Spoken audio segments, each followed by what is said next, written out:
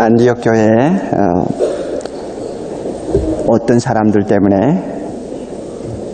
교리적 논쟁이 일어나서 대단히 어려운 상황에 빠졌었다고 지난 시간에 제가 말씀드렸죠. 한번 기억을 해보세요. 그 어떤 사람이 일으킨 교리 논쟁의 핵심이 무엇이죠? 그것 하나만 내가 묻고 넘어갈래요. 오직 믿음으로 구원받는다고 하는 누구의 가르침에? 바울과 바나바의 가르침에? 아니요. 하고 무엇을 보태야 돼, 보탠다고 했어요? 예, 할례를 받고 율법을 지켜야 구원받는다. 그래서 그것이 굉장히 격렬한 다툼과 논쟁으로 발전했다고 했습니다. 자, 그런데 교회가 어느 정도 실력 있는 교회냐, 질적으로 얼마나 좋은 교회냐, 교회가 얼마만큼 인물들이 많으냐, 그 지도자가 어느 정도 탁월한 사람이냐 하는 것은 언제나 문제가 일어났을 때 판가름이 납니다. 조용할 때는 몰라요. 아, 비행, 뭡니까? 비행기가 잘 날아가는데 무슨 그 항해사가 그 뭡니까? 기장이 저 뭐 실력이 있는지 없는지 우리가 알 게 뭡니까? 그렇죠. 비행기에 어떤 사고가 났을 때 그 기장이 어느 정도 훌륭하냐, 그 승무원이 어느 정도 탁월한 사람이냐, 거기에 승객들이 어느 정도 높은 수준의 인격을 가지고 참 침착하게 기장의 말대로 순종하는 사람이냐, 다 드러나 버리죠. 교회도 마찬가지입니다. 그런데 안디옥 교회는 정말 수준급 이상이에요. 왜 그런가 하면 이제 개척한 지 얼마 되지 아니하는 그런 짧은 역사를 가진 교회로서 이 정도의 심각한 문제가 나타나 가지고 서로 아주 감정 대립이 될 정도의 다툼을 한번 치루은 교회라고 한다면 반드시 그 교회는 치료하기 어려운 깊은 상처를 안을 확률이 대단히 컸습니다. 아니면 요사이 현대말로 말하면 교회가 짜게져 나가든지 뭐 일부분이 그냥 탈락을 하든지 하는 아주 비극적인 상황을 겪을 위험이 많았죠. 그런데 이 교회가 어느 정도로 수준이 높으냐? 정말 제가 탐복합니다. 이 당시에는 노예도 없었어요. 총회도 없었어요. 교단도 없었어요. 그런 상식도 전혀 없습니다. 그런데도 너무나 문제가 심각한 것을 발견하자마자 교회 지도자들과 평신도 지도자들이 모여가지고 밤새도록 기도하면서 하나님 앞에 간절히 지혜를 달라고 구했을 것입니다. 어떻게 하면 교회가 하나 되는 것이 무너지지 않도록 할 수 있습니까? 어떻게 하면 이 어려운 교리 문제를 해결할 수 있습니까? 어떻게 하면 이것을 통해서 교회가 더 큰 은혜를 받을 수 있습니까? 어떻게 하면 마귀가 승리했다는 말을 못하도록 할 수 있습니까? 주여 인간은 약하니 가르쳐 주세요. 그 결과 바울이 옳소 하는 말도 안 했어요. 바나바가 맞는 말을 했습니다. 그런 말도 안 했어요. 바나바 바울도 지지 않았고 예루살렘에서 내려온 어떤 사람도 지지하지 않았고 결국은 다 묶어서 어디를 가져가고 가져, 가져가기로 결정했습니까? 예루살렘 사도들과 장로들에게 가지고 가자. 여러분 이것이 얼마나 지혜로운 처사인지 아세요?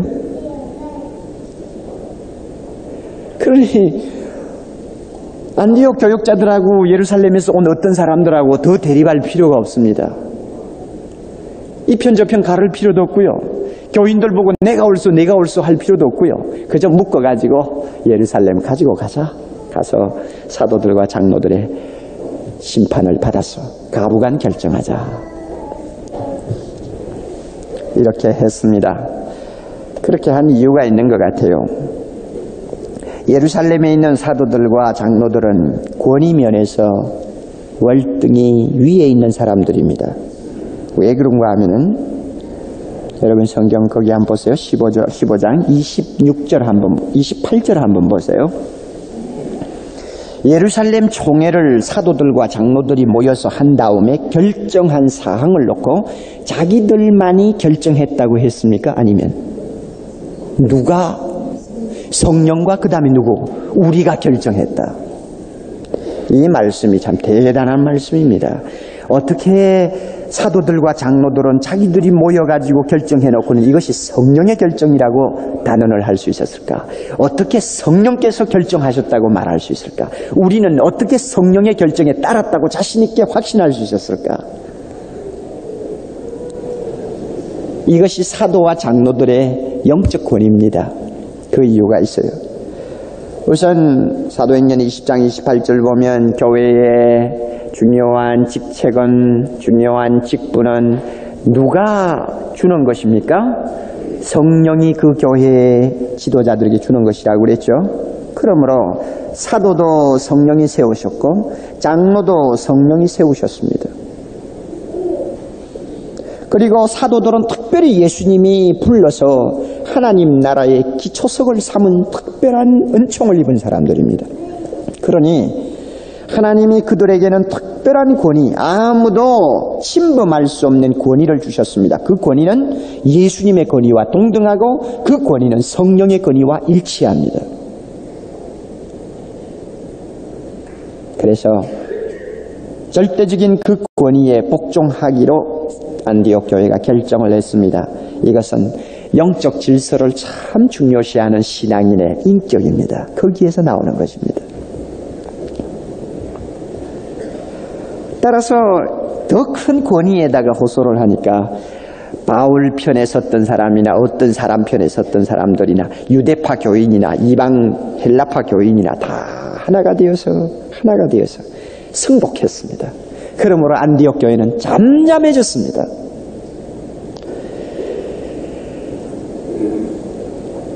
결국 이렇게 되니까 교회가 분열을 할 위기를 넘겼습니다. 그리고 교회 분열을 방지했습니다. 하나님께서 하나 되게 하신 이 평안을 아주 기가 막히게 지켰습니다. 결국 그것을 보면 안디옥 교회는 하나 된다는 것을 얼마나 사랑하고 중히 여긴 교회냐 하는 걸알수 있어요.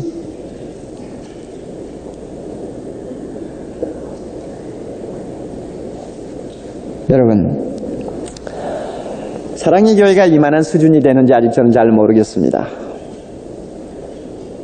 아직 그렇게 어렵다 할 문제를 당해보니라 보지를 않았어요. 또 우리에게는 어떤 교리적인 논쟁이 치명적으로 일어난 일도 없습니다.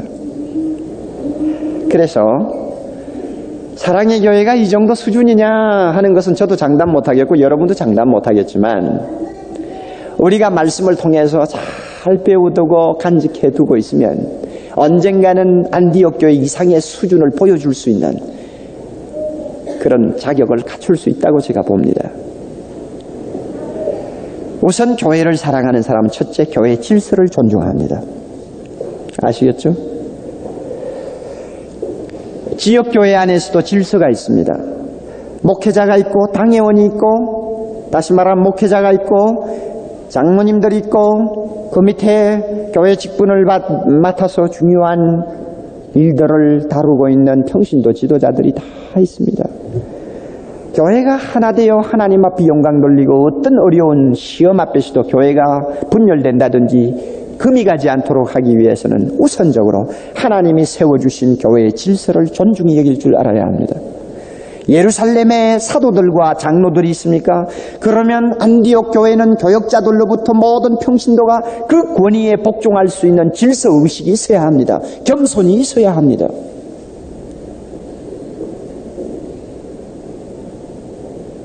이것이 오늘날 현대 교회에 얼마나 중요한 문제인지 몰라요. 그래서 하나님이 현대교회에서도 교회 지역교회 안에 질서를 주시고 교회와 교회 사이에 질서를 주셨습니다. 교단이 있고 교단 안에 노예가 있고 총회가 있습니다. 그래서 지역교회 스스로 해결할 수 없는 문제는 노예로 가지고 가서 노예에서 목사님들이 모여 의논을 하고 협의를 하고 노예 능력으로도 감당하지 못하면 총회로 가지고 올라가서 총회에서 모든 것을 다루도록 질서를 주셨어요. 그러나 저나 여러분이나 탄식하는 문제가 하나 있습니다. 오늘 이 질서가 다 깨어졌어요. 이 권위가 다 무너졌습니다. 그래서 교회가 위기를 당하고 있습니다. 노예가 명령하는 것을 지역교회가 들어요? 안 들어요. 내가 이 노예 붙을 이유가 뭐냐? 뭐 나는 다른 데 간다고 가버리면 그만이요. 지역교회가 노예나 아니면은 총의 말씀에 반대하던 사람이나 찬성하던 사람이나 똑같이 승복하는 자세와, 자세와 겸손이 있느냐? 없어요. 패를 만들어가지고 그냥 교회 짝에서 다른 교단에 소속해버립니다. 얼마나 무질서한 세계가 되었는지 몰라요. 오늘 어린 아이들이 어머니의 권위, 아버지의 권위에 복종 안 하죠? 20대 젊은 세대가 40대의 말을 우습게 생각하죠? 학교 대학생들이 자기를 가르치는 교수들을 아주 길거리에 지나가는 어떤 행인 맛도 못하게 대우를 하죠? 오늘 이 세대가 말세 말세 이렇게 말세가 될 수가 없어요. 전 세계가 지금 이와 같은 홍역을 치르고 있습니다. 지구는 한마디로 말해서 열병을 이야기로 하면 40도가 넘었어요. 이제는 열을 떨어뜨릴 어떤 방도가 없는 것 같습니다. 주님이 오시기 전에는 해결이 나지를 않아요. 오죽이 답답하면은 미국에 있는 많은 큰 교회 목사들이 자기들이 죽기 전에 예수님 오신다고 소리소리 치르며 지르며 강조하겠어요. 오죽이 답답하면.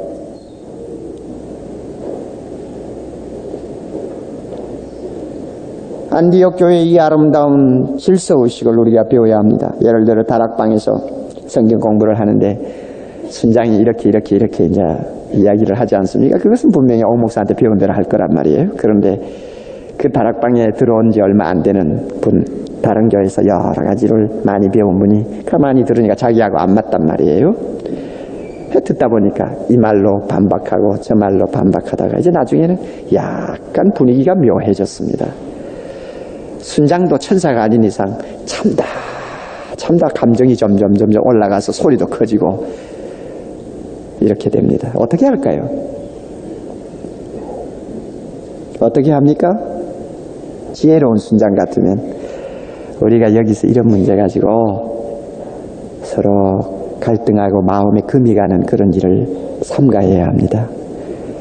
우리 교회에 분명히 이 문제를 얼마든지 다룰 수 있는 교역자들이 계시고 교역자들에게 물어서 안 되면 목사님의 최종적인 책임을 질 테니까 거기에 가서 분명히 해답을 얻어서 다시 다음에 이야기합시다.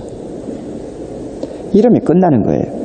만약에 거기서 그 자매가 그것으로 어, 만족하지 않고 아니 이 자리에서 결론을 맺자고 나는 순장 말에 동의를 못하겠다고 성경에 어디 그렇게 돼 있느냐고 하면서 계속 나오면 어떻게 할까요? 그 사람은 교회를 사랑하지 않는 사람이요. 그런 사람은 질서의식이 너무 없는 사람입니다. 하나님은 질서의 하나님이요. 성령의 은혜를 과연 받고 사는 사람인지 의심할 수밖에 없는 사람이요. 그러면 그런 사람은 다락방에서 어떻게 다루어야 합니까? 너는 질서 의식이 없으니 추방한다. 나가라. 그럴 수도 없죠. 인내해야죠. 참고 기다려야죠. 그리고 계속해서 기도해 주어야죠. 그러면 나중에 점점 다락방에서 처음에 뭐 똑똑한 것처럼 들고 나왔다가 갈수록 갈수록 자기 자신이 너무나 부족하다는 걸 느끼게 됩니다. 이거는 마귀의 역사입니까? 성령의 역사입니까? 성령의 역사요. 성령이 역사하면 자꾸 겸손해집니다. 그렇게 되면 자기도 모르게 점점 과거에 한때 내가 좀 까불던 거 얼마나 잘못했던가 하는 것을 느끼게 되고 드디어 그 사람이 제자 훈련 받고 순장이 되고 나면 나중에 자기와 똑같은 사람이 다락방에 나오면 어떻게 합니까? 아이고 그저 내가 뿌린 씨 내가 또 거두는구나. 그렇게 되면 또 얼마나 잘 참고 잘 인내하겠어요. 그렇죠? 교회 주일학교나 모든 교회 안에 있는 평신도 그룹들이 또 모임들이 어려운 교리 문제나 어려운 문제가 나왔을 때 그 자리에서 싸우지 마세요. 안디옥 교회의 질서 의식을 따르란 말이에요. 우리 힘으로 하기 어려우니까 여기서 내패 내패 가를 필요도 없고요. 내가 옳다 나쁘다 하면 정지할 것도 없고요. 그대로 갖고 목사님에게 갑시다. 아, 그런 거 타라고 목사 세워놨지 뭐 내가 뭐 월급 받아먹고 살라고 뭐 목사 세웠나? 그렇죠? 예, 그런 거 타라고 세웠죠. 그리고 목사가 바로 판단을 내려주면은 그 다음에 승복을 하는 사람이 성령의 사람입니다. 목사가 잘못 가르치지 않는 이상. 바울과 바나바 보세요. 얼마나 겸손합니까? 바울도 사도입니다. 바울도 계시받은 사람이요. 바울도 주님을 직접 본 사람이요. 바울도 모든 면에서 누구보다도 떨어지지 아니하는 탁월한 지도자요. 실력을 가진 사람입니다만 예수님이 직접 선택한 열두 사도들과 자기하고는 비교를 안 합니다. 그러므로 사도들에게 가지고 가겠다고 판단했을 때는 바울도 스스로 거기에 복종했습니다. 이게 성령의 역사입니다. 성령을 받은 사람의 태도입니다. 그리고 여러분 보세요. 예루살렘 교회, 아, 안디옥 교회가 얼마나 멋있는가. 참 교회가 하나 되는 것을 지극히 사랑하는 이 마음 정말 돋보입니다. 얼마나 멋있는 교회입니까? 가끔 보면 교회 안에는 하나 되는 것을 사랑하지 아니하는 사람들이 있어요. 하나 되는 것을 사랑하지 않아요. 성령이 하나 되게 하심을 힘써 지키라고 하는 하나님의 명령을 아주 우습게 생각하는 사람들이 있어요. 그래서 마음대로 패거리를 만들고 마음대로 교회 안에서 행동을 하는 사람들이 있습니다. 오늘 이런 사람들 때문에 교회가 진통, 진통, 진통, 진통을 하는 것입니다. 그런 사람 하나님 앞에 가면 분명히 하나님의 책망 면할 수가 없습니다. 아주 저질적인 사람들이요. 앞으로 사랑의 교회 문제가 없다고는 할 수 없겠죠. 작은 문제, 큰 문제 자주자주 일어날 수도 있습니다. 인간이 모였으니까. 그러나 그때마다 안디옥 교회를 잘 생각합시다. 하나님이 말씀을 통해 지혜를 주실 것입니다. 그 다음에 예루살렘 총회로 올라갑니다. 이제 총회에 올라가서 이 문제를 상정했습니다. 문제를 다루는 과정을 한번 보세요. 굉장히 지혜를 배우는 거예요. 교회 안에도 모임이 있고 회의가 많이 있지 않습니까? 여러분이 성경 안에서 제일 먼저 또 어떤 면은 제일 유일하게 남아있는 회의 진행 과정을 기록한 자료는 이거밖에 없습니다. 한번 보세요. 제일 먼저 어떻게 했습니까? 7절, 6절 사도와 장로들 이제 이것이 예루살렘 총회 정회원들입니다. 사도는 예수님이 선택한 제자들이요.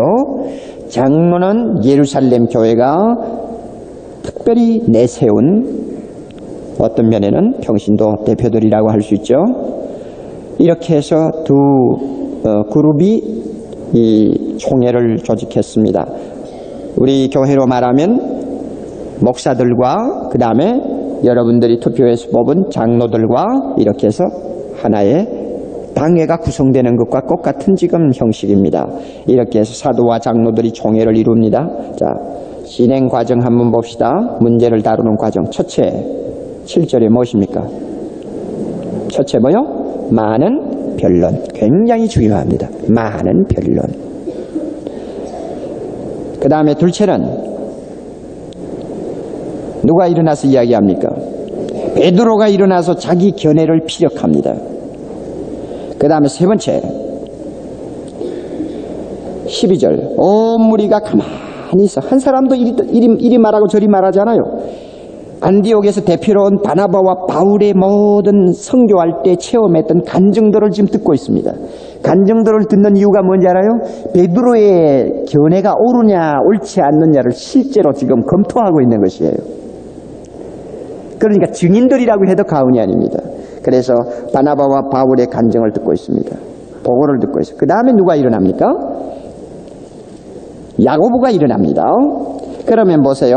많은 변론 다음에 사도의 대표라고 할 수 있는 베드로가 먼저 발언하고 그 다음에 베드로가 발언한 다음에 그 발언 견해를 기초해 가지고 바나바와 바울의 모든 그동안의 상황을 다시 한번 청취하면서 베드로의 말에 옳고 그른 것을 분별하고 있습니다. 다시 말하면 베드로의 견해가 성령께서 함께 하시는 견해냐 아니냐를 분별하고 있습니다. 그 다음에 그 바나바와 바울의 견해를 다 들은 다음에 장로의 대표라고 할 수 있는 예수님의 동생 야고보가 일어납니다. 일어나서는 자기 견해를 피력합니다. 그 다음에 다 피력한 다음에 거기에 있는 총대들이 듣고 드디어 하나의 합일점을 찾았습니다. 의견 일치를 보았단 말입니다. 그렇게 하고는 전체 동의를 하고 나서 그 다음에 결정사항을 날입니다. 그 결정사항이 무엇입니까? 이렇게 이렇게 하자. 그리고 대표를 보내서 알려주자. 이것이 결정사항입니다. 여러분 얼마나 멋있어요? 여러분 회의할 줄 아세요? 네? 회의할 줄 알아요?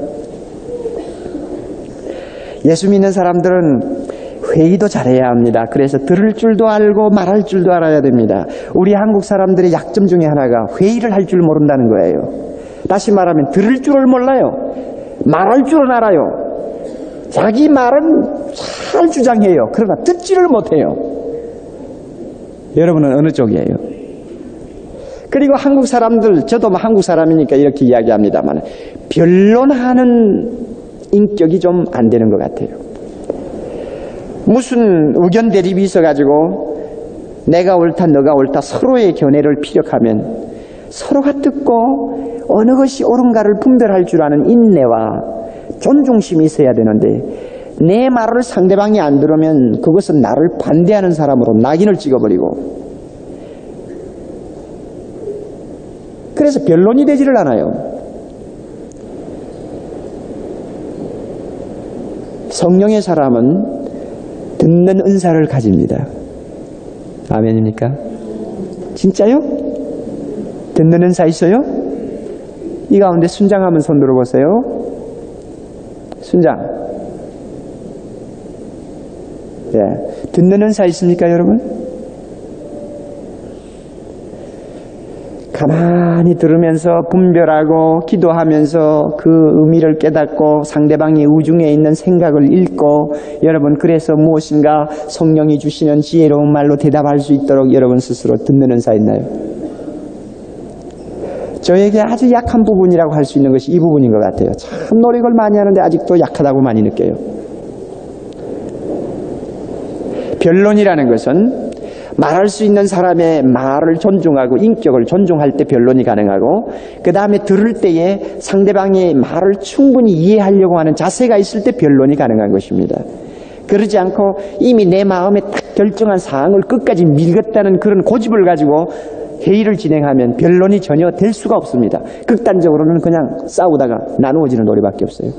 변론이라는 것은 어떤 결정된 안을 가지고 나가서 그것을 관철하려는 것이 변론이 아니고 성령의 뜻이 어디 있는지 잘 모르니까 우리가 같이 대화를 나누는 과정에서 하나님이 어느 것을 옳다고 판단하시는가를 살펴보자 하는 자세가 변론의 자세입니다. 예수 믿는 사람에게는 이것이 참 중요합니다.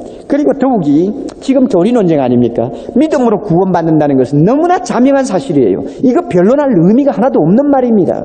그런데도 베드로를 위시해서 모든 사도들이 인내하면서 변론합니다. 바나바와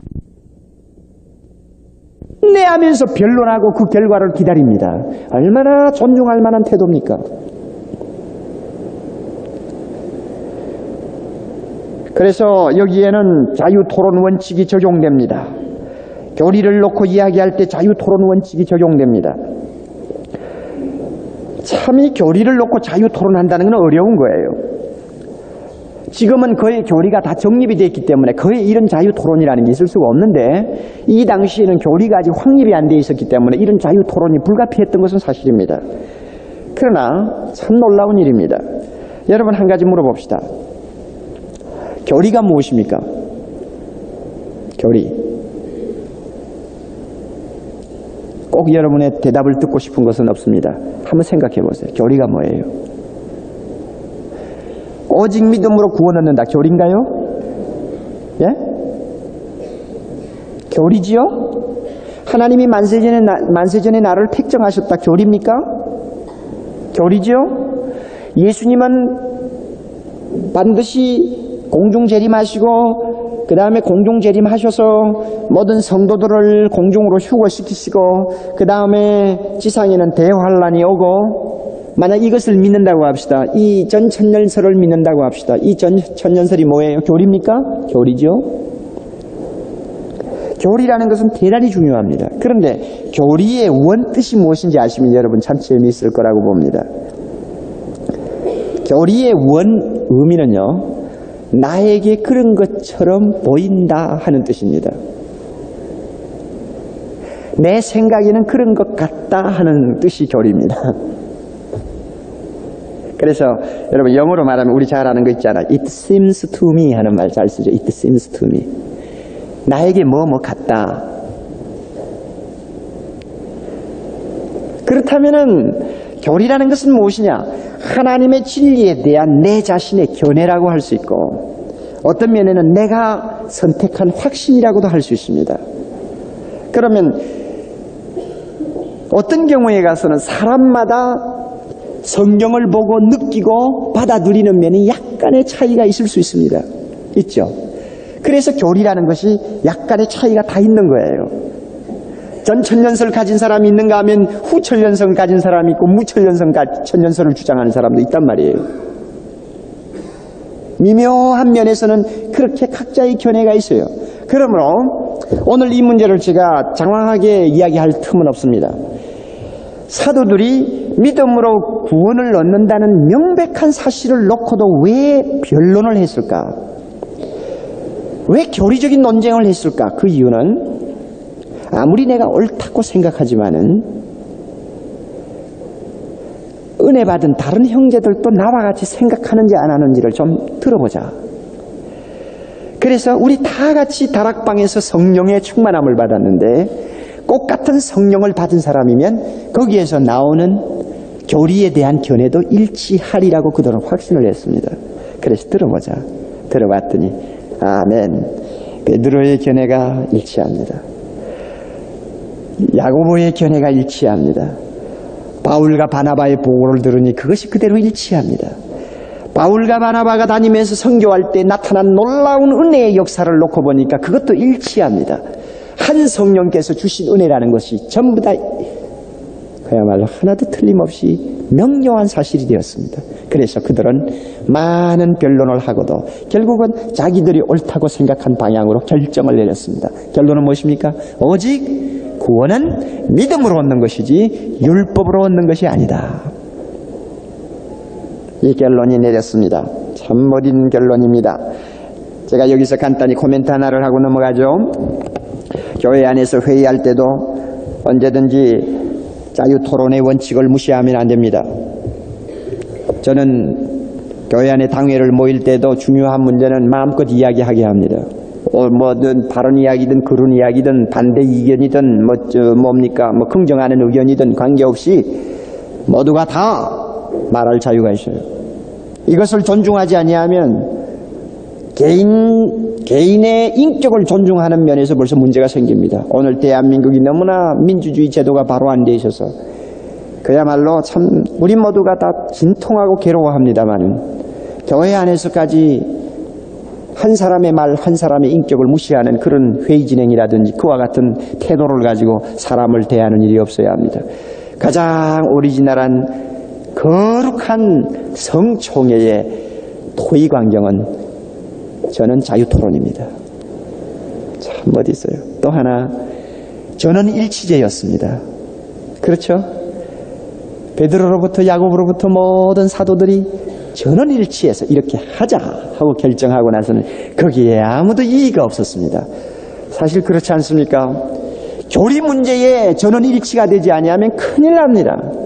지역 교회 안에서 사랑의 교회 안에서 교리 문제가 일치하지 아니하면 큰일 납니다. 다른 사소한 행정적인 문제는 견해 차이가 있으면 투표도 하고 다수결로 결정을 합니다만은 교리 문제는 다수결로 결정할 문제가 아니에요. 이거는 거기 그 교회에서 몸을 담고 하나님을 섬기는 사람이면 일단 교리 문제만은 하나가 되어야 합니다. 만약에 자기 자신이 꼭 신앙 양심상 그 교리에 일치할 수 없다고 자신이 느끼면 그 사람은 자기 교리와 일치하는 교회를 찾아가는 도리밖에 없습니다. 그렇게 하는 것이 교회를 하나 되게 하는 태도예요. 제가 지난 주일에도 비슷한 이야기를 했습니다.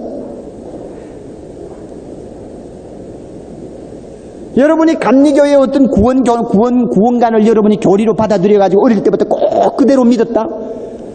그런데 분명히 만세전에 우리를 택하시고 무조건적으로 우리를 하나님이 구원하신다는 이 원칙에 대해서 좀 뭔가 불만이에요. 감리교는 그렇게 안 가르친단 말이에요.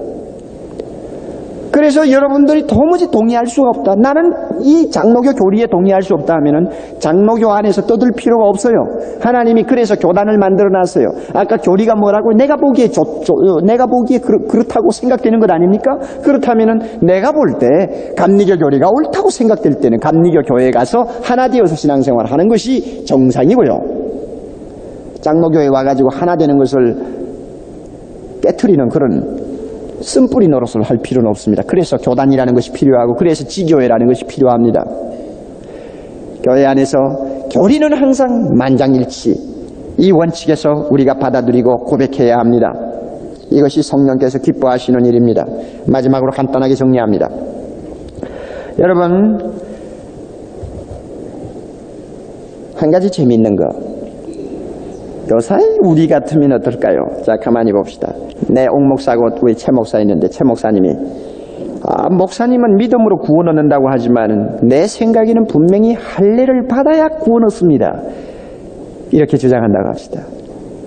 그러면 옥목사는 강단에 서서 설교할 때는 오직 믿음으로 구원받습니다. 아멘입니까? 하고 아멘 했단 말이에요.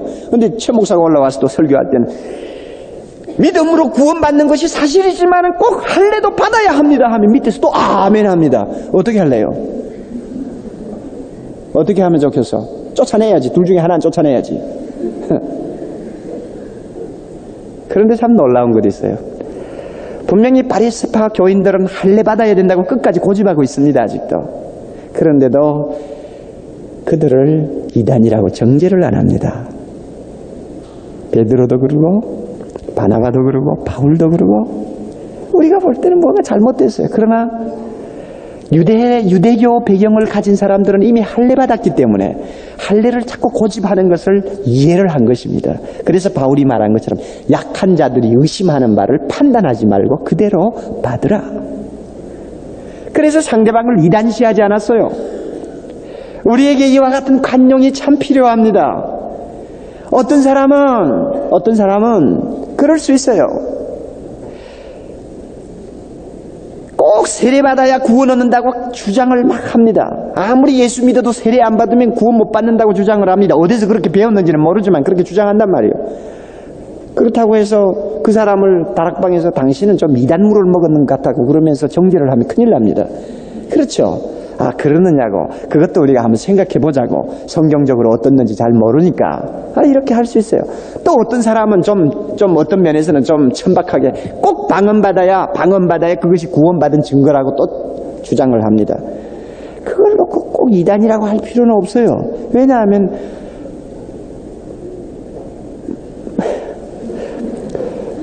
방언을 하다 보니 오죽이 좋으면 그렇게 하겠어, 그죠? 좀 불쌍한 거예요, 한마디로 이야기해서. 믿음보다도 방언이 그렇게 좋아 보이니 얼마나 불쌍합니까? 그렇죠? 그런 이해를 해야죠. 아, 그래요. 뭐 내가 동의는 안 합니다만 당신을 이단이라고 정죄는 안 하겠어.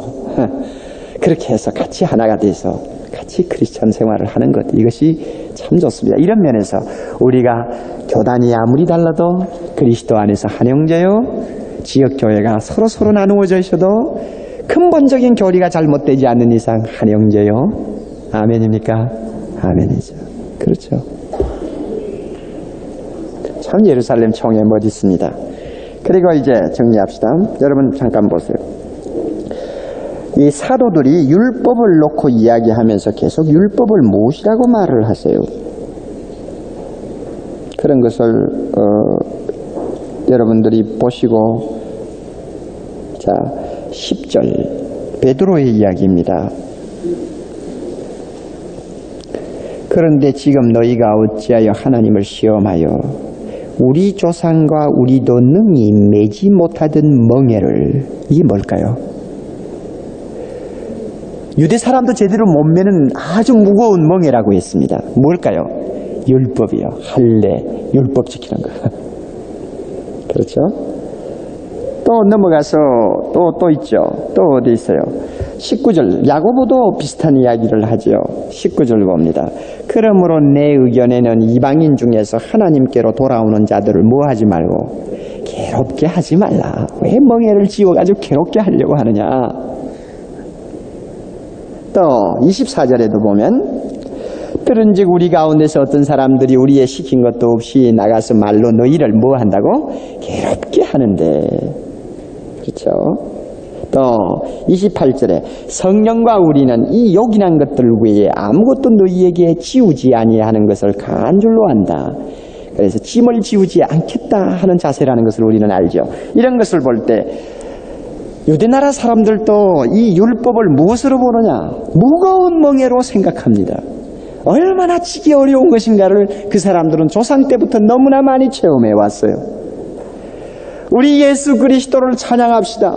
만약에 우리가 구원받는 조건에다가 율법 하나를 더 첨가시켜 놓았다고 한다면 얼마나 오늘날 우리가 구원받기 위하여 땀 흘리고 진통하고 괴로워하고 멍에를 메고 허덕여야 될까요? 지키지도 못하는 멍에 때문에 얼마나 양심의 가책을 느끼고 괴로워해야 할까요? 신앙생활하는 기쁨은 하나도 느끼지 못할 것이요. 마음속에 평안은 한시도 없을 것이요. 날마다 두려워 떨면서 멍에는 지지만은 지지 못하는 이 가책 때문에 부들부들 떠는 신앙생활 하다가 결국은 구원받을지 받을 수 없을지 장담도 못하는 끝맺음을 하고 말 것이란 말입니다. 우리 하나님께서 이와 같은 무거운 짐을 지우지 않기 위해서 예수 그리스도의 십자가 하나로 모든 율법의 문제 해결하시고 우리에게 무조건 믿기만 하면 믿기만 하면 모든 죄 용서받고 하나님의 자녀가 되는 축복의 길을 허락하셨습니다. 이제는 우리에게 멍해가 없어요. 아무것도 우리를 짐지울 것이 없습니다. 구약에 있는 어떠한 법도 우리를 사로잡지는 못합니다. 우리에게 두렵고 떠는 사람으로 만들 수가 없습니다. 왜? 십자가의 공로가 그렇게 위대하고 큽니다. 감사하죠. 얼마나 놀라운 은혜를 얻었습니까? 그래서 유대인하고 우리하고 비교해 볼 때 유대인들이 불쌍해요. 그 멍에를 벗지 못해가지고 그렇게 진통하고 있는데 우리는 멍에 다 벗고 헐헐 망아지처럼 뛰어다니면서도 우리는 구원받은 기쁨을 날마다 누릴 수 있는 축복을 얻었습니다. 하나님의 선물이요. 값없이 우리가 얻은 선물입니다. 이 놀라운 축복을 우리가 받았는데 여러분 날씨가 좀 더워도 짜증내지 맙시다. 지난주일에 제가 말씀드린 대로 기분이 안 좋다고 불평하지 맙시다. 우리는 너무나 큰 축복 갖고 있어요. 지금 여러분이 하시는 일이 좀 잘 안 되고 마음의 근심이 좀 된다고 할지라도 그것과 비교할 수 없는 하늘의 영광을 우리는 이미 소유하고 있습니다. 낙관하고 감사하고 찬양하고 그 큰 선물을 공짜로 주신 하나님이 내 일용할 양식, 내 처자들 먹이고 사는 문제 하나님이 책임지지 않겠어요? 너무나 큰 축복 받았는데 짜증스러울 때마다 이것 생각하고 할렐루야 찬양하고 감사하고 더 힘있게 하루하루를 사는 우리들 되시기를 바랍니다. 같이 기도하십시다.